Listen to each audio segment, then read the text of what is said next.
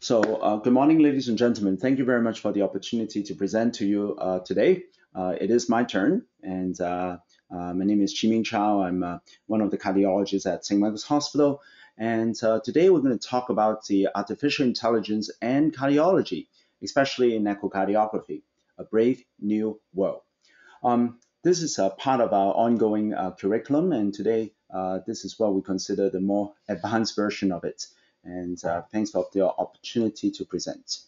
So the plan is to go over what is uh, artificial intelligence, deep learning, and machine learning. I want to give you some examples on uh, why we should be um, spending time to learn about artificial intelligence because the machines are indeed coming, and uh, how uh, AI is going to be used uh, in cardiology, echocardiography, and maybe ECGs if we get to it how is artificial intelligence going to affect the way we practice echocardiography, uh, how we practice cardiology, as well as medicine as a whole. Um, this is one of my uh, favorite uh, uh slides. Uh, there are lots of uh, interesting slides about artificial intelligence these days, together with um, um, um with many other things that for computer vision as well as um, um, modeling images uh, using artificial intelligence. Now people are using artificial intelligence to model pictures that Van Gogh would be drawing uh, or uh, deep fake, um, you know, uh, uh, pretending to be um, uh, a political figure in terms of giving a speech. but this one is the one that how to actually use a computer vision or, or, artificial intelligence or image processing to figure out um, which one is a chihuahua and which one is the muffin. Very fitting for a morning talk. Okay, so um, this is one of the Steven Spielberg film um, that talks about artificial intelligence, and uh, it's quite a few years ago, but still, you know, what has been predicted is coming true and, and more true these days as we move along. Um, just to go back on a few slides on the history of artificial intelligence and how that um, sort of permeate through our society. Uh, one of the early work uh, that was actually part of it is done in Toronto, uh, up in um, the um, um, IBM campus on Steeles uh, is actually the Deep Blue project. And uh, in 1996, um, IBM came up with a computer called Deep Blue. it's a spe- specialized chess computer that was playing against, at the time, the reigning world-class champion, Garry Kasparov. And indeed, in 1996, um, it was a 4 to 2 that uh, Kasparov uh, beat uh, Deep Blue, but at least the Deep Blue won two games against the human being. So that was actually uh, history breaking. And one year later, in 1997, actually uh, Deep Blue won uh, in uh, the match against uh, Kasparov. So moving forward a little bit, uh, 2011, one of our favorite um, TV show, Jeopardy, IBM Watson was actually pitched against Ken and Brett. At the time, was some of the historical highest winner of Jeopardy. And uh, indeed, uh, Watson was able to do uh, natural language processing, understanding the question and coming up with a prediction of the answer, and based on probability outcome, actually beat uh, the reigning champion at the time. So it's actually quite impressive. And moving even uh, farther forward uh, in history, 2017 was a was a very important year uh, that uh, Google uh, came up with something called AlphaGo and beating a number of the world champion of Go. and the top champion at the time was uh, Orji, so uh, Ji. And that, that was actually very important as a landmark for artificial intelligence because um, as many of you know, uh, probably among all the different uh, human games, uh, Go is actually one of the most challenging one um, to do. So uh, with the variations and combinations and permutations, etc. Okay, so many of you may not know who this uh, lady is, uh, and but she is actually very important uh, in terms of artificial intelligence. Uh, her name is Ginni Rometty, and she's an ex-chairperson and CEO and of IBM. And she is one of the first lady who had that position. She's now retired, and she, she proclaimed in 2016 that 3D printing and IBM Watson, which was the uh, artificial intelligence uh, agent at the time that they had, uh, could replace doctors. So that, that's a, a very a broad and bold claim that she made uh, in one of the press conferences. So indeed, you know, there's been a lot of different um, sort of like you know hype and and and uh, um, that went on uh, since then um, in the 2015 and forward.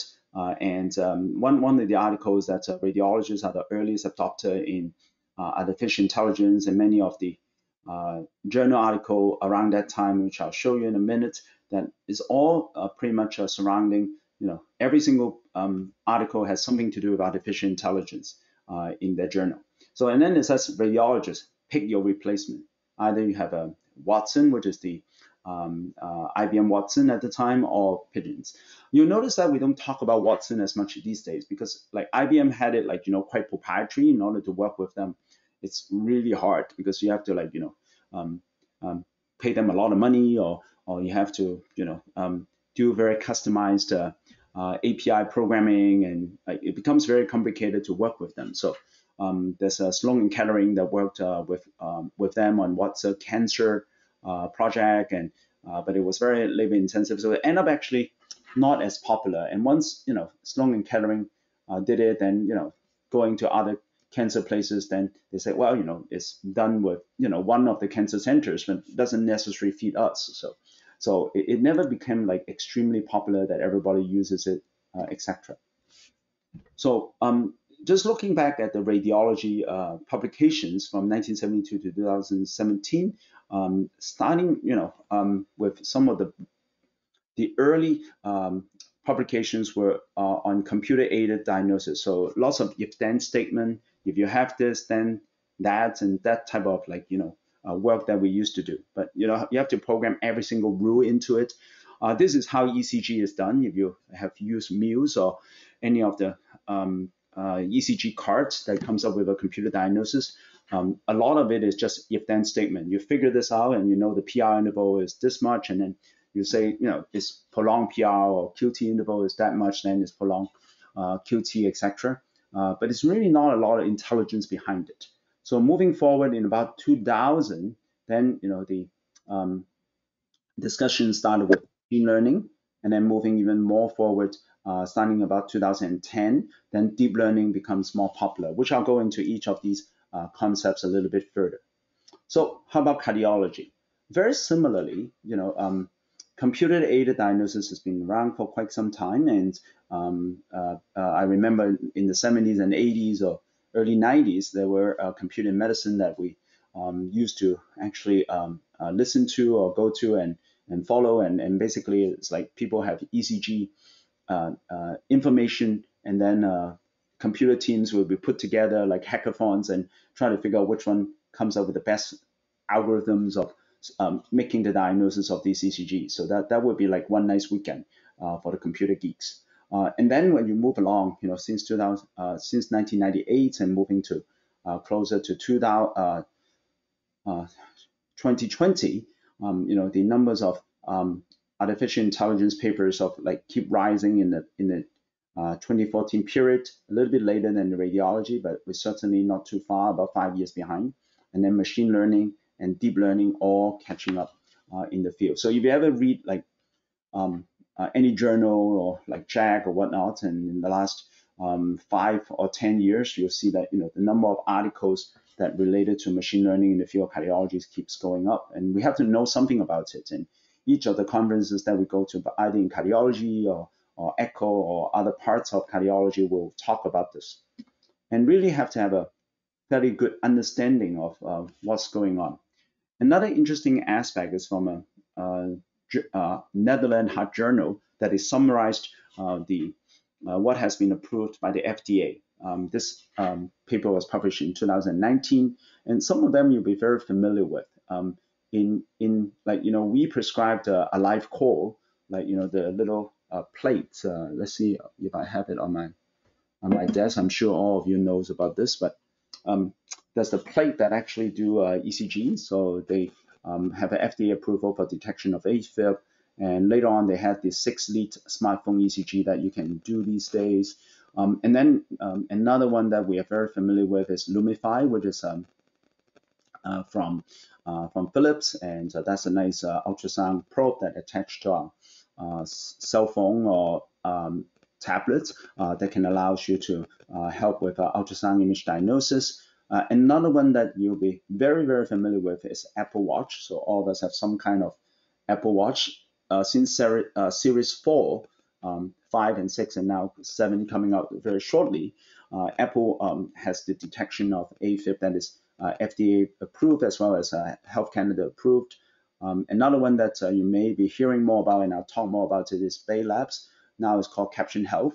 Uh, they, they do um, a number of different uh, echo uh, analysis, both image and view recognition, as well as um, as an ejection fraction. So it's been a number of the um, uh, companies that come up with uh, automated EFs, especially in POCUS. Okay, so then you're going to say, like, you know, why now? Like, you know, artificial intelligence has been around for quite some time. I took computer science um, about 30 years ago, give or take. And uh, at that time, I had to spend three months of learning artificial intelligence. At that time, it was actually very boring and just learning about class inheritance, like you know, the elephant has a trunk. So if you have a trunk, it's likely to be an elephant, etc., um, etc. Et but, but why now? Why does such an explosion around 2010 or 2015? A lot of it has to do with the computer science world. Um, these are three companies that you're all very familiar with. And I told you Watson didn't succeed because like they're, very proprietary, uh, similar to what IBM did for many years. But Google, uh, which comes up with um, Google AI, which has something called TensorFlow. If you talk to most of the engineering uh, colleagues and friends, they'll tell you that's pretty much everyone uses, including high school children, including the um, uh, my family uh, members, uh, they're using TensorFlow at home. Like, you know, they can just program it online and you can go to the cloud, they can play with it. And, you know, it just allows you to have something called open environment or open API that uh, you don't have to pay for it. And um, so it enables these kind of uh, work that are done by almost anybody if you have access to it. Uh, even with a small laptop or desktop, desktop computer, you'll be able to do um, artificial intelligence uh, work. Uh, same thing for Amazon AI. And last but not least, when we first started doing a number of these like image recognition work way back when, like to do one piece will be like 12 hours. But now with like, you know, the really fast GPU um, uh, boards uh, that are NVIDIA is being a pioneer in this and is used in our gaming machines, uh, as well as uh, in our in our in our Echo machines. If you look at what they have done in the last uh, few years uh, with the new machines, they are now rather than using very customized boards, like each of them is designed for like you know Doppler or you know fast Fourier transform. now you can actually use um, a common like a, a board that you actually just bought off the shelf and they feed all every, all the analysis through the software. So in many ways, if NVIDIA comes up with a much faster uh, board, they just plug it in, and then you can actually um, you can have uh, much faster algorithms and uh, or much faster calculation using similar algorithms or new algorithms. So so it's um, it's really like you know um, make the upgrade of our Echo machines so much better. And not to mention this is a lot to do with blockchain, which cryptocurrency, which is the Crave. So everything all sort of helps one another in terms of the uh, development of where we're at right now. Um, the the other um, major development, which I don't have this um, uh, label on is actually Apple. Um, for those of you who are thinking of upgrading your portable, uh, the new uh, M1 chip actually has built-in GPUs. So rather than buying like graphics cards separately, they're actually building so many cores of GPUs. So specifically on your phone, iPhone, uh, as well as um, the um, uh, Apple portables uh, or M1 chips on your Mac Mini or whatever, or later on hopefully Mac Pro, you actually have customized GPU that is built into it with the goal of actually doing AI on board. So even like at some point your your phone will be able to do like you know a lot of AI uh, things. And one of the most common uses uh, in Google and Apple, they're now using AI photography. That's why your cell phone actually takes pictures um, better than very expensive single lens reflex camera that we used to when we were a lot younger. Okay, so this is a a very nice summary uh, diagram from one of the paper that was written in 2018, published in JACC by Johnson, uh, that uh, talks about uh, artificial intelligence in cardiovascular medicine as a whole. So we look at the middle, which is artificial intelligence. It um, helps to inform clinical practice by using AI diagnosis and also personal medicine by doing uh, therapeutic selection for each of the people. And uh, through a different um, set of mechanism, in, including um, uh, novel therapeutic agent discovery, uh, new drugs discovery, precision decision uh, stratification. For example, if you have like, you know, thickened heart or um, or like, or is that like amyloid? Is that hypertension? Is that something else? And then uh, even within um, a particular disease category, whether they are more sick than the others, and prognosis of like heart failure. There's a lot of papers on this. Uh, you can help with uh, mining the data and integrating data um, uh, with the big data or the cloud, and also making us um, healthcare professional uh, becoming more efficient and also uh, more efficacious because the machine quote unquote do not get tired. so that you know if you read 50 echoes, maybe at the end of the day, um, the last few may be um, less precise and the early ones will be more precise. So machines is not supposed to do this and uh, it can give you like, you know, pre-collision warning so that if something is really abnormal or abnormal, you can point that out so it can focus you on the attention. Uh, another big piece that is coming out is uh, continuous remote monitoring and diagnosis. This is a big piece uh, since COVID and a number of different uh, companies uh, has been formed. A good example is like CloudDX, uh, Teladoc. Uh, those are companies that uh, formed within the last few years that became household name, especially for those who are interested in investment. They've gone up a lot, um, especially the ones that has or Livongo that was in traded in Nasdaq. So continuous monitoring is a huge piece because now in US there's actually a fee code. So a lot of companies or startups actually focus on this area. But with, with that, it comes with a lot of data so that you have to have ways um, to try to figure out, you know, where do you actually um, find all the like critical uh, things to actually look after it. Uh, another one that is actually within uh, U of T is actually Medly that was done uh, by Dr. Ross Group. It's also very amazing that uh, leading the way of um, of, uh, of this remote monitoring piece for heart failure patients in particular. Okay, so and then also the um, EP people have gone like way way ahead than many of us in terms of remote monitoring in the field of medicine uh, for the pacemaker and ICDs. And last but not least, to optimize the resource allocation to find out like you know the most efficient way of um, using our limited resource and, and also dollars, uh, which are very important in our field in um, uh, in me of medicine in Canada. Um, we also have the privilege of actually putting a paper together, um, uh, together with one of the, my engineering colleague from Waterloo, Joshua, and also uh, Sumit Gandhi, one of our uh, former ECHO fellows. We put together this paper that was published in ECHO a number of year uh, number of years ago in 2018. So in this paper, we uh, sort of give us introduction as well as a review of the state of the art at that point. Um, and um, we had this diagram that was customized, uh, custom um, custom made. Um, and we talked about, you know, artificial intelligence, machine learning, and deep learning. Basically, they are like a shell within a shell. So artificial intelligence really just a general concept of how uh, the intelligent agent can help to make decisions to maximize the chance of achieving its goal. In a uh, typical story is the chess game that to maximize uh, the chance of winning by you know looking forward and analyzing the board. The next one uh, that is within which is uh, machine learning. So again, you know, artificial intelligence, the concept has been around since 1950, immediately after the Second World War, especially um, so as pioneered by Alan Turing. Um, machine uh, learning, uh, which started around 1980, uh, the concept, which um, is the artificial intelligence that use statistical method to improve with experiences. So we'll talk more about it. It's about like you know giving um, modeling a neural network similar to the, how our brain or how our nervous system work um, by looking at each node uh, that to branch out and maximize the chance of winning.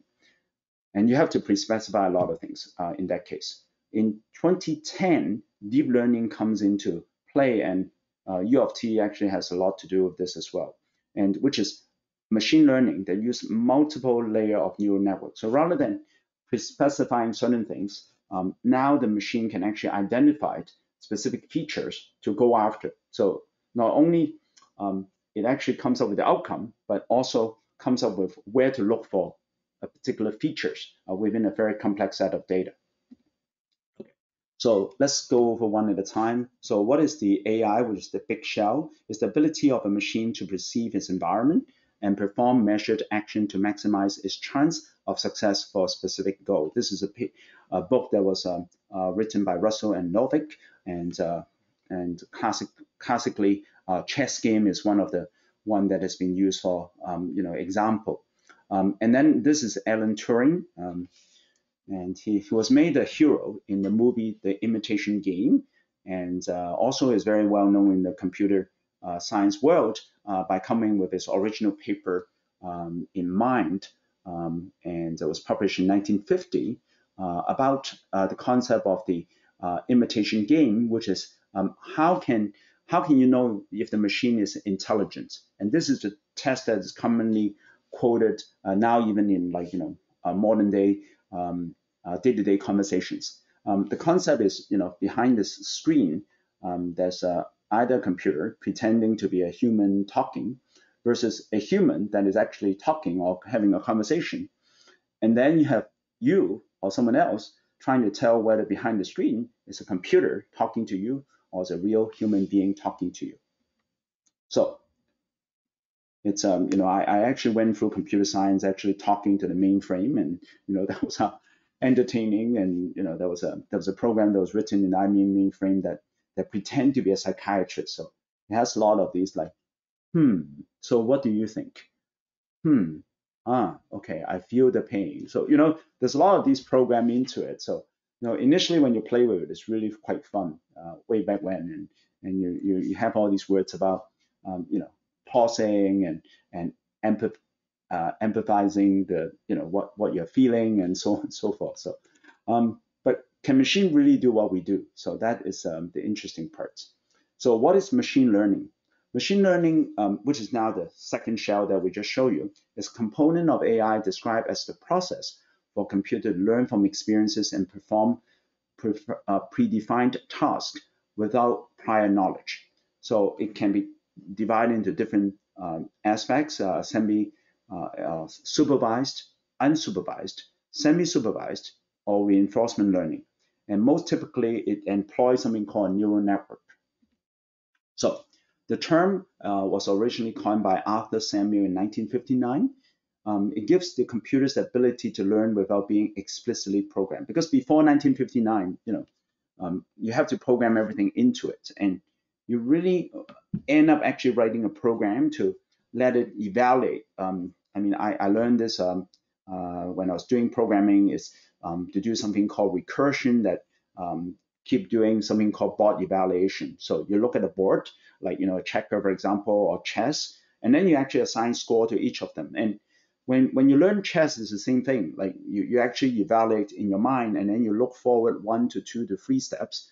And the more expert you are, the more steps that you can look ahead.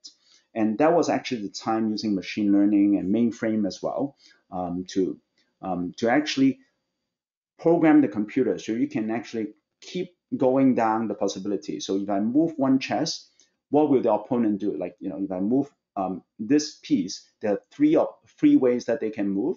And you have to evaluate each of these um, possibility. And then you have to look at the step after that.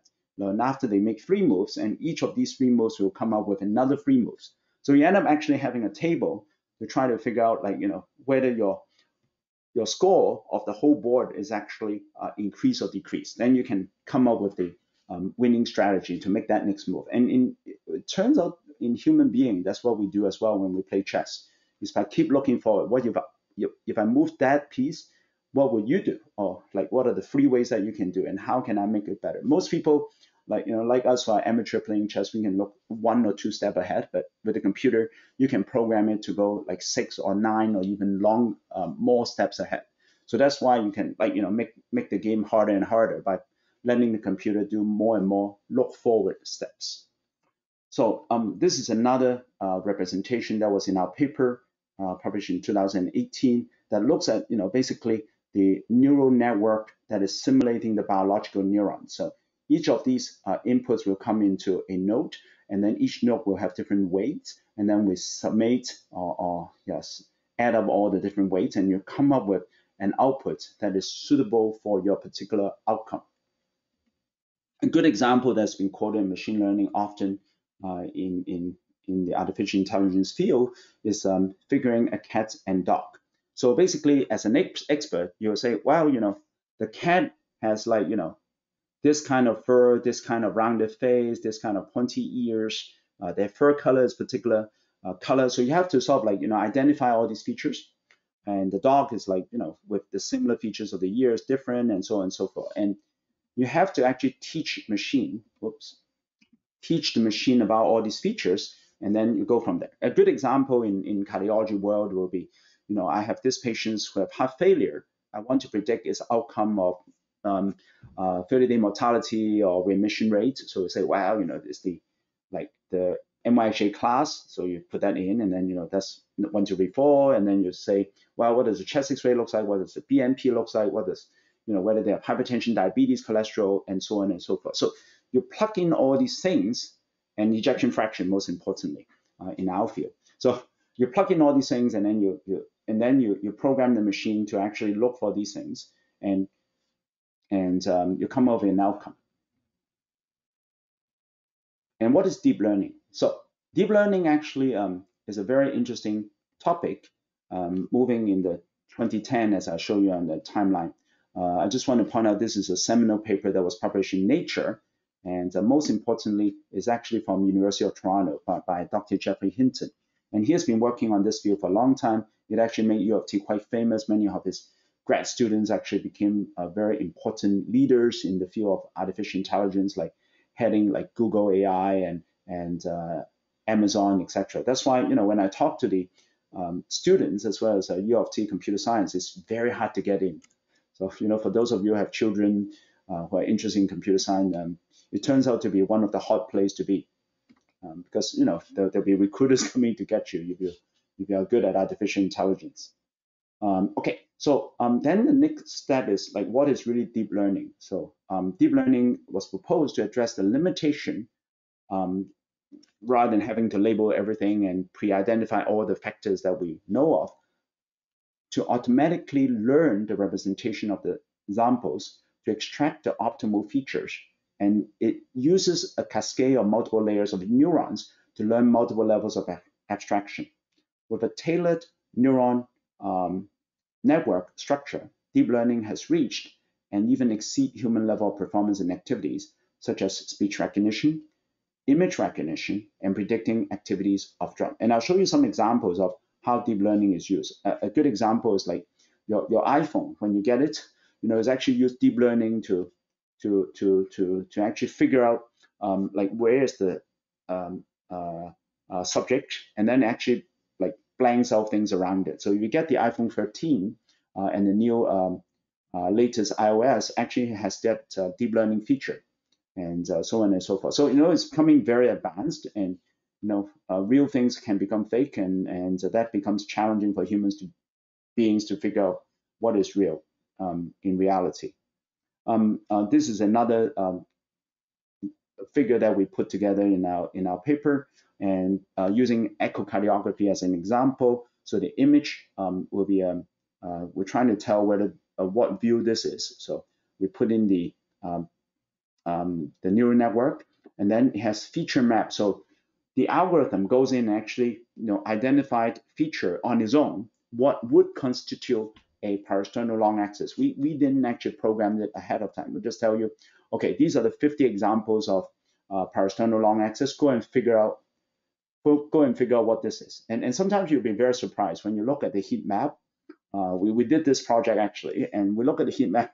The heat map is actually right in the ventricle. We, we thought it would be like, you know, the aorta coming out this way and etc., etc. The R will be a certain way, but but it turns out it's actually the shape of the ventricle that has the heat map. So when you look at the heat map, you say, wow, okay, that's how the machine figures this out.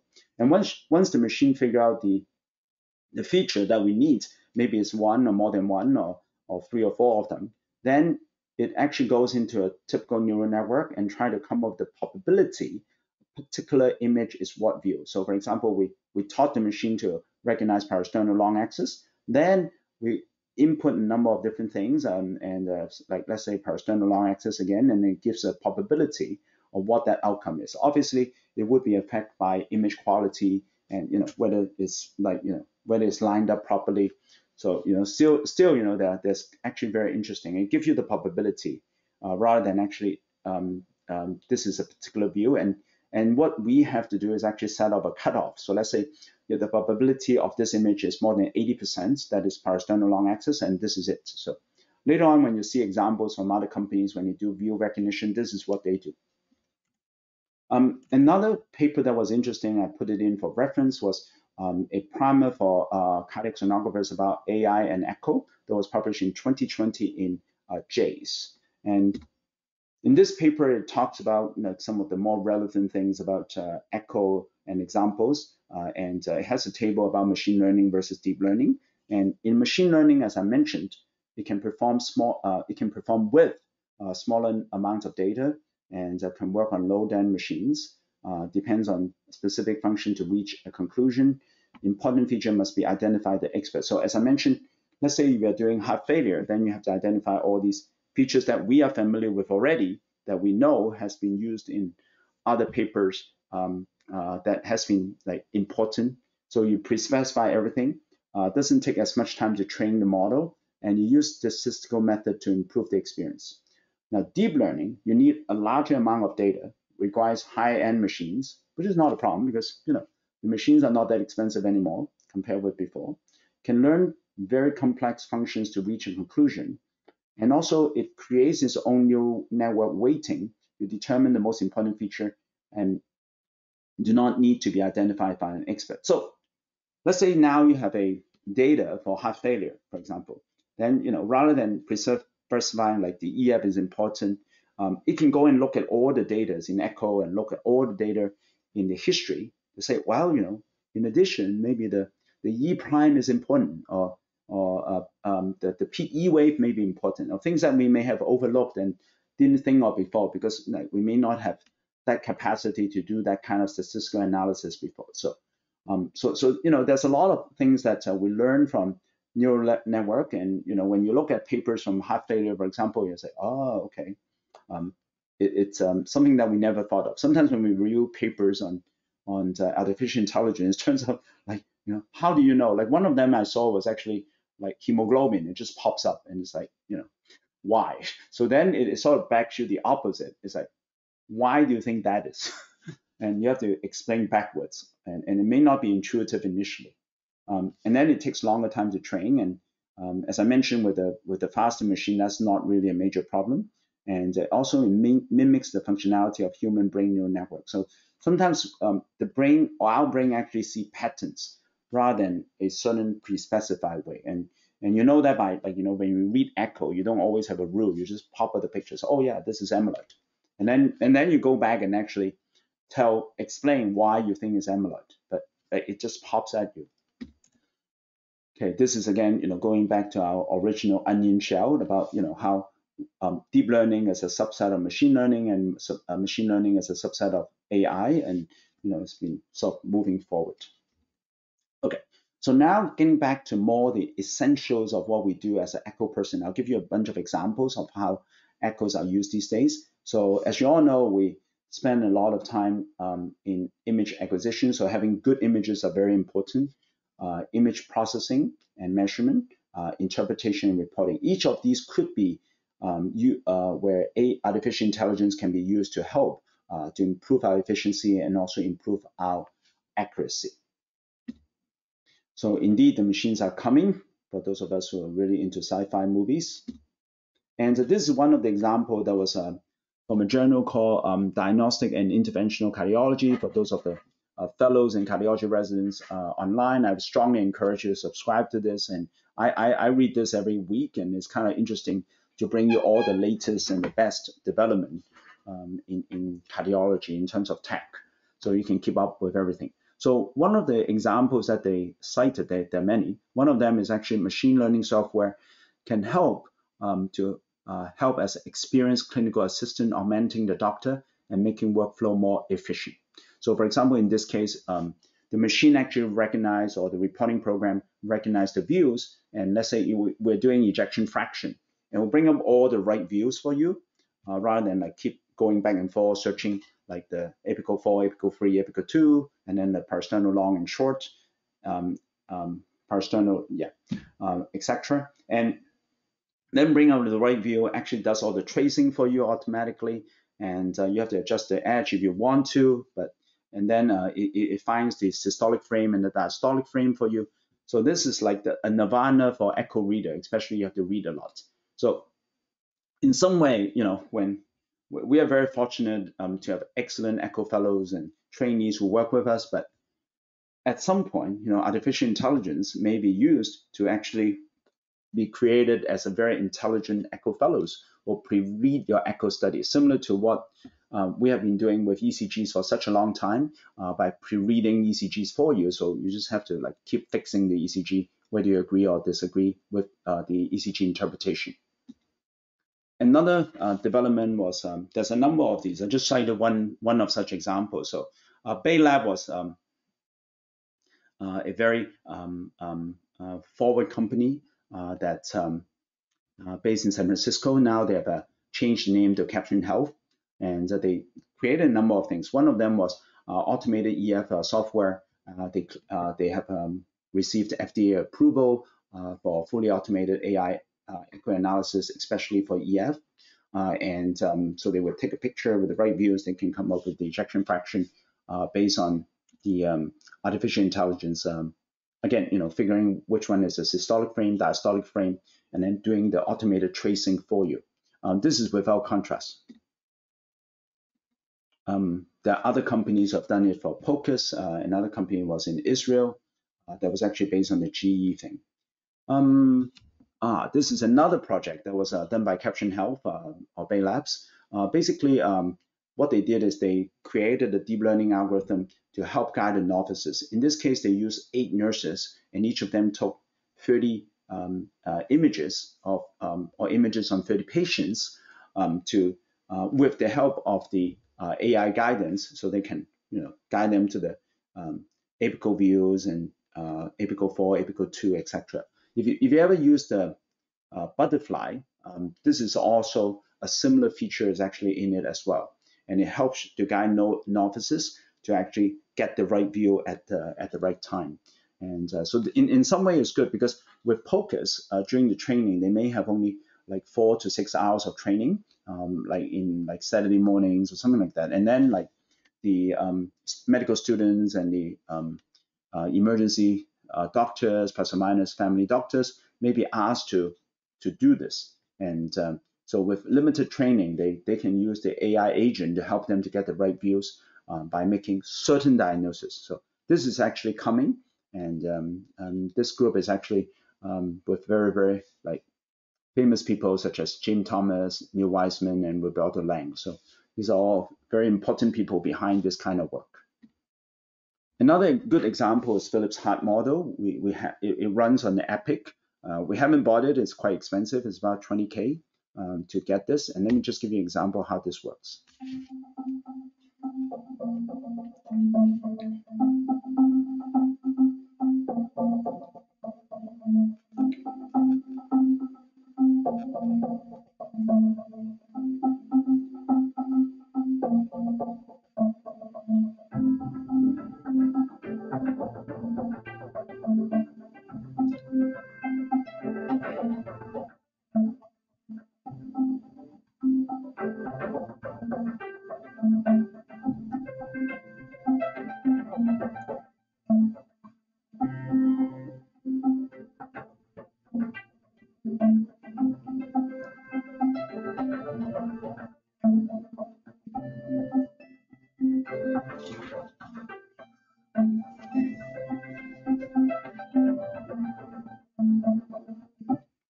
That was um, the uh, heart model. That, that the particular feature has been around on the left side for quite some time, the left heart and left atrium. Um, and um, it's thought that you know with with the 3D acquisition, it's like you know one button you saw the analysis time in real time that um, it, it, will figure out the tracing in three dimensions, so you don't have to trace each of the views, and uh, you can come up with the uh, more reproducible uh, 3D volumes as well as ejection fraction by 3D, and also uh, left atrial volume, etc. Um, one of our colleagues and friends, um, Dr. Wendy Tsang, um, has done a study while she was working with Dr. Roberto Lang in Chicago and um, studied 159 patients uh, and uh, using the heart model and base and compare that with the MRI. And what they thought, um, what they concluded is that the automated uh, ejection fraction using heart um, heart model was actually very uh, strongly correlated with the uh, ejection fraction uh, and with the, the MRI. Um, the EF was underestimated and the automated LV uh, and diastolic and systolic and LV volumes were overestimated when compared with manual measurements. Um, and uh, but the agreement with um, the um, uh, the heart model and the MRI was actually very strong as well. So that was actually the conclusion, and you know we we could have used it, but it's uh, actually quite expensive to get. So we haven't done that yet. But if we have a nice donation of grants, we can actually install that in our computer General system. Manager of Cardiovascular Ultrasound at GE Healthcare. And today I'm excited to introduce to you the patient care elevated release of Vivid Ultrasound Systems. We've taken the extraordinary processing power of cSound to a new level with artificial intelligence and an open architecture with Vivid Intelligence powered by GE Healthcare's Edison platform. We're linking multimodality imaging to our Vivid systems to empower you with new insights, and we're expanding the image quality advantages across the Vivid family to help you deliver exceptional results for your patients. Our AI-based tools have helped you measure and quantify data like LVQ and automated Doppler measurements. We're now bringing AI capabilities to the classification of images so you now can read and review echocardiograms from a new and more consistent perspective. Our AI-based view recognition augments signature features like automatic function imaging to help guide your choice of the right images. This saves you time and improves consistency of AFI measurements, which ultimately supports exceptional quality of care for LV dysfunction in oncology patients. We've also expanded the use of AI to add more automated Doppler measurements to help assess valve disease so it does not go unnoticed because early detection is key. For evaluations that use multimodality imaging, particularly in the interventional guidance area, you can now seamlessly fuse CT and ultrasound images to bridge the communications gap.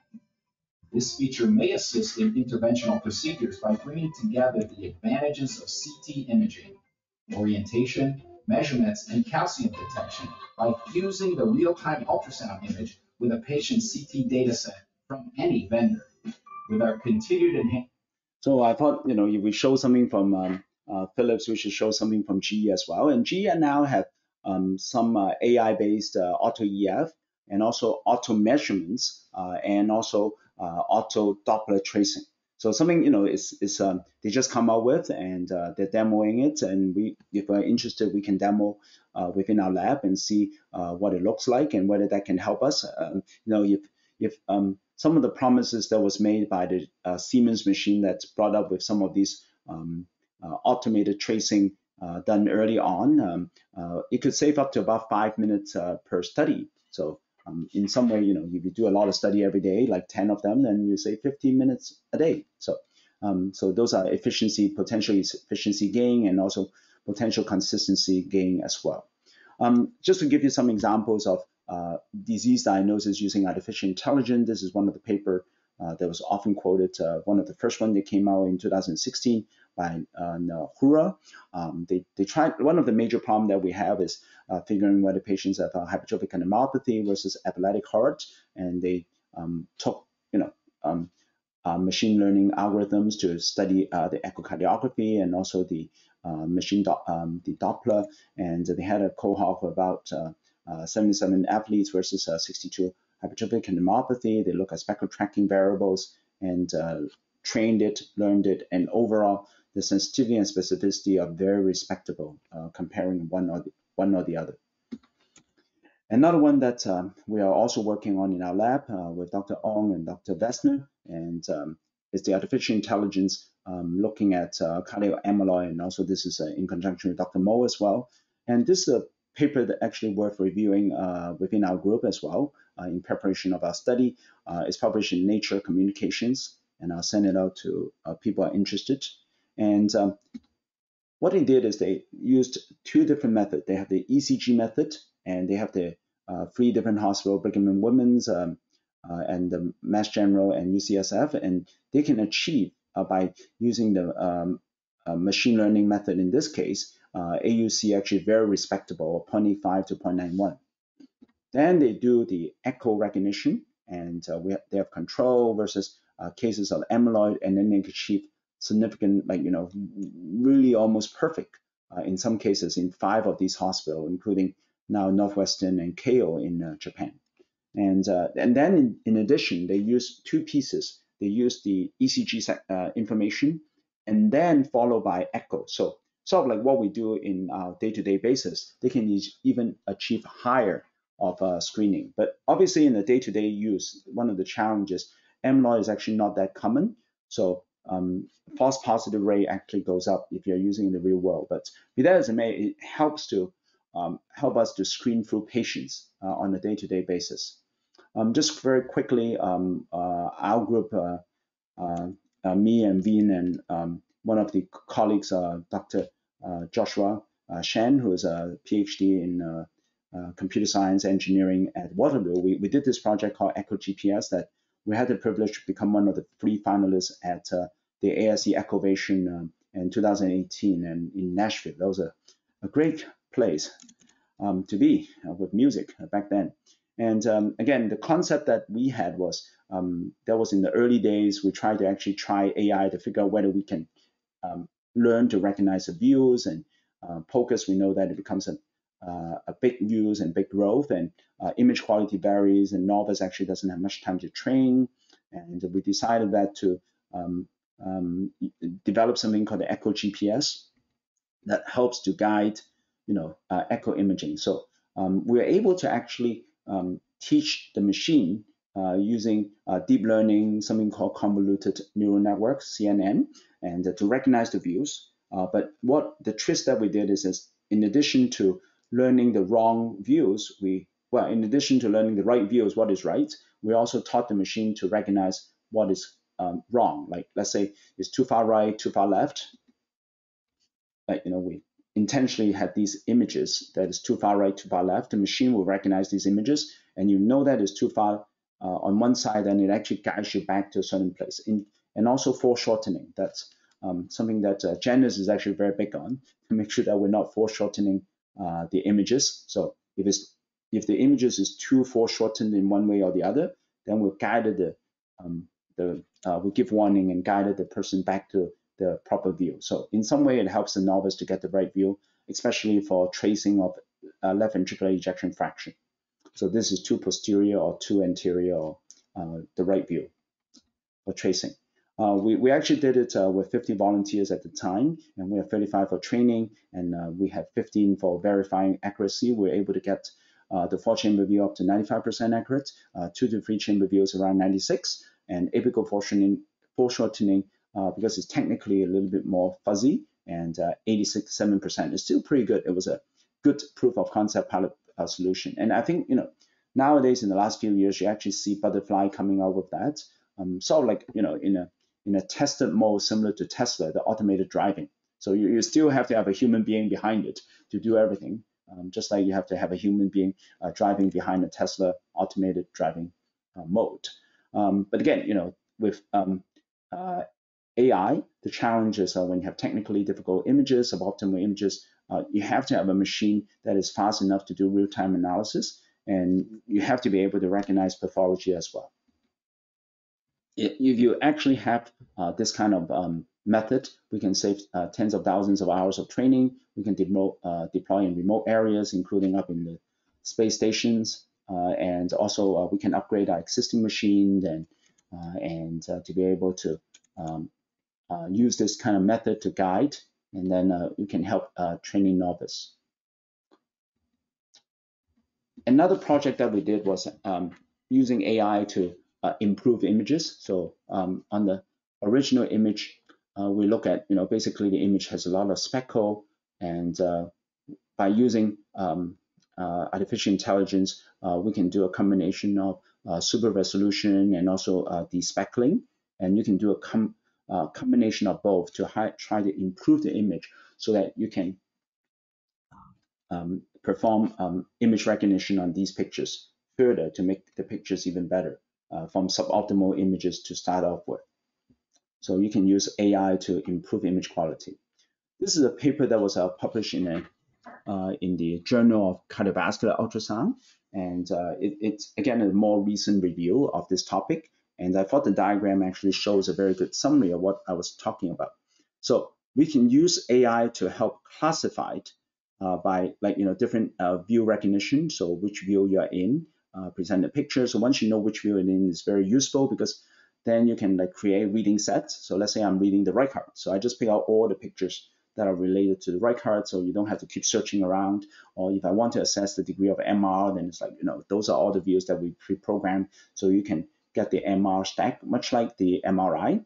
Um, and then you can use uh, AI to help with automatic segmentation of cardiac cavity, such as um, endocardial border uh, detection or refinement, uh, segmenting the ventricle from the short axis view, etc., etc., and also um, trying to figure out where the endocardium is. So, you know, in addition um, to um, uh, giving contrast. Um, the other thing that you can do with AI is actually doing all the volume calculation, ejection fraction calculation by doing artificial intelligence driven endocardium detection. This is demonstrated by the, um, the heart model, uh, both on the left side and also there's a right heart module as well. Um, and also you can do valve um, automatic analysis and there's some um, uh, method, especially on the uh, Siemens side, that they did um, a number of these uh, automated valve uh, algorithm to calculate the ejection fraction, recognizing the valve, especially on transesophageal echo, etc. And also um, using AI to help us with um, uh, diagnosis of cardiomyopathy and also myocardial strain analysis. Right now, we know that strain, there's so many pieces of information that a human brain cannot fathom. And uh, so we end up being a polar pot. And, um, and but there are uh, any uh, there are many other subtle information that we could have actually picked up as well. So last but not least, GIGO, so garbage in, garbage out. So meaning that if we don't have really good images to start off with, so we still at this point need human to be able to, to get really good quality image, um, to be able for us to do the analysis and then um, be able to um, do the recognition. So this is now the summary slides. So um, as echocardiographer or sonographers, um, what we use is we trained our eye and our brain to automatically integrate uh, multiple attributes of interest in moving image without statistical reasoning. And these cues jointly contribute to clinical differentiation of patterns. Uh, what, what AI can do um, for echocardiography and other cardiac, cardiac diagnostic tests is improve diagnostic accuracy and consistency, improve quality of echo acquisition and reporting, extract information that may not be apparent to the naked eye, for example, strain and 3D, reduce observer fatigue, improve timeliness of reports, and uh, reducing costs as well potentially. And so here's the good news and the bad news in this brave new world. The bad news is the robots are coming to do our jobs. But the good news, hopefully the robots are only coming to do the most mind-numbing, spirit-crushing, stultifying, and isolating aspects of our job. Well, one of the things I prefer not having to do all the time is is um, uh, is uh, tracing the Simpson. Uh, you know, if there's some way that we can do an automated Simpsons in a very reliable fashion, and we just have to adjust for it and making sure it's doing the right things, that that would be wonderful. And um, I just have two more quotes for all of us. Uh, one of them is by Robert Kennedy, uh, and like it or not, we live in interesting times, and uh, this is actually uh, true pretty much uh, throughout um, any decades that we live in. And uh, this person you may not be familiar with. his name is Alan Kay, as a computer scientist, also a, a jazz um, a guitarist. he's one of those people who are good at many things. And he's also educator. He worked on the Xerox um, in the Palo Alto Prague uh, project, which predated uh, the uh, the Mac and the Lisa. that is the user interface that we now use. Like he's sort of like the guy who came up with the Windows um, and, and the mouse and human interface that we use day in and day out for the last 40 years. And his quote is the best way to predict the future is to invent it. So let's do it together. Okay, with that in mind, I'm going to um, entertain any questions that you may have.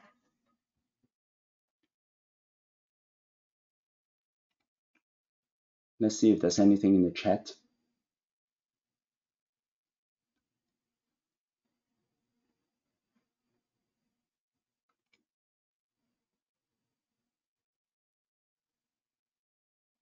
Any questions so far? Dr. Chow, I'm wondering, um, the examples that you showed for some of these cases are more looking at the image itself and then having the machine learn sort of uh, what things should look like and then, you know, identifying it in a fresh image that you present to the machine. But I'm just wondering, uh, in terms of AI studies that are purely based on sort of written information or or values that you put in how does sort of how does the machine look for relationships in that sense? So um, yes. So image is one of the most straightforward things that we started off with because in the last 10 plus years or even longer we transformed most of our uh, diagnostic imaging into digital. So it's very much readily available right? So it's you know you have a whole data bank of ct mri and and uh, echo images that you can readily get access to. You, what, what we have to do is actually find people to be able to label them, and in the computer science world, it's called segmentation. And uh, so you just have to like let them know this is an apical four chamber view of a patient who have amyloid, for example. So and then you know then you label that, and then you get another one which is like normal. Um, and, and, similarly for like someone who has like mammogram and and the mammogram, oh okay, these are calcifications, and you just like um, denote them and by, by a supervised method of machine learning so they can figure that out initially. Um, so then the next barrier is actually all the textual information that we get.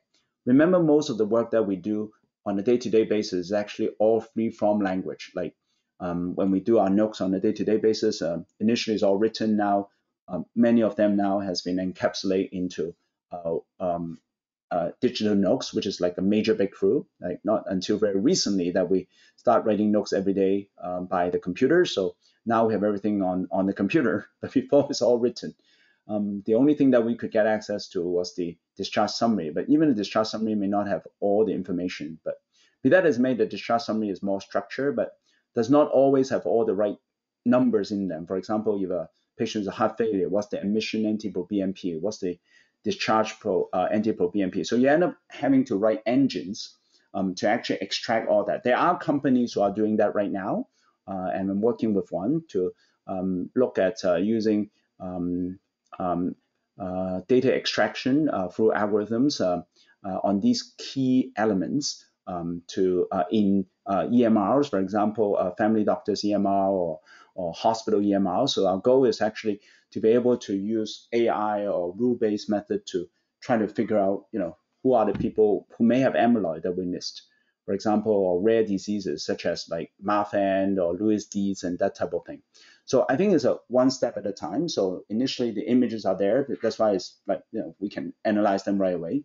Um, uh, and then the next phase is all the textual element, which is difficult because you have to have a natural language parser to figure that out. And then ultimately, what you want to do is actually combine everything. Like one of the project I show you, it's um, they use not only one modality but ECG and uh, echo to try to improve the outcome because we, we know that the more pieces of information, uh, the better it will be.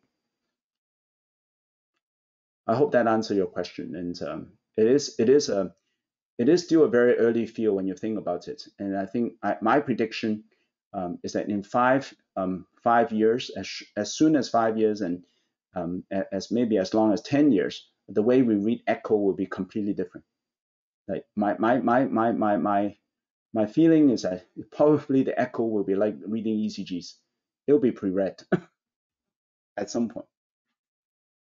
And I know that different companies working on it. One of the one of the big um, big one is actually from Oxford called Ultromics. So that's a company worth looking at. If you ever go to like um, uh, ESC or ESC Digital Health, or if you go to like you know ASE, uh, those type of meetings, they they are they are there. J, uh, if you go, yeah, they are they are there, and you know they, they will be one of the major forces of helping us to actually read echoes. in the long run by identifying disease uh, pattern and things like that.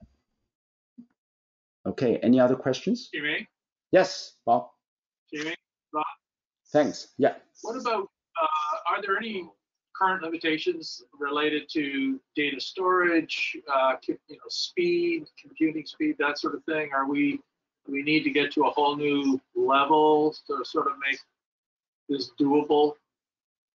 You know, Well, storage is a huge, Yeah, I mean, the, the, the good news is the, the storage problem we have solved in the sense that, you know, the storage are not very expensive, uh, both locally uh, and also on the cloud. Um, and because there are lots of data farm that has been built uh, over the last 10, 15 years. Uh, and, uh, you know, a good example is Amazon, like uh, uh, AWS uh, or, or Google, or, there's a lot of like, you know, storage, uh, both local and remote. Um, the, the big thing is actually finding the right algorithms and uh, finding all the data scientists who can work with us as a group so we can do things together. Because, I mean, similar to what we had a number of years ago, there's a digital divide where the engineers are not familiar with our problems and the physicians are not necessarily familiar with the engineering methods. So you need to have some kind of medium to bring them together. And most of these data, when you extract it out, is not um, doesn't really require huge amount of storage um, especially we're looking at subsets of data, especially image. Um, but but then once you bring it out confidentially, uh, respecting all the privacy rules, then um, you just have to do the analysis. And and fortunately, the machines are actually quite cheap these days, relatively speaking. And and most of them are in thousands of dollars, as opposed to be tens of thousands of dollars that we used to have to worry about. And uh, like especially because of gaming and blockchain, it made a lot of these um, technology available to us with like you can buy a card like the top graphics card is about two thousand dollars from uh, Nvidia, and and you buy a couple of them, plug it into your machine, and and uh, it, it, actually works really fast. It shortens all the image analysis by by by a factor of four to sixteen, as opposed to hours and hours before. Like we can just churn through them in like hours, and and we've done it actually one time in Israel where we're in the final final moments of a project that we have to present, we actually churn all the data on a portable, a gaming machine portable. We were still able to do it because of the fast GPU built into the gaming machine. So with that in mind, we are slightly past nine. So I want to thank all of you for participating. And uh, don't forget to do your um, evaluation. I believe next week is uh, Remembrance Day, so we won't have a session, I think. Okay, thanks everyone. Have a wonderful day. Thanks for staying on, and hopefully you find this interesting. thanks, Jimmy. Thanks, Thank- Jimmy.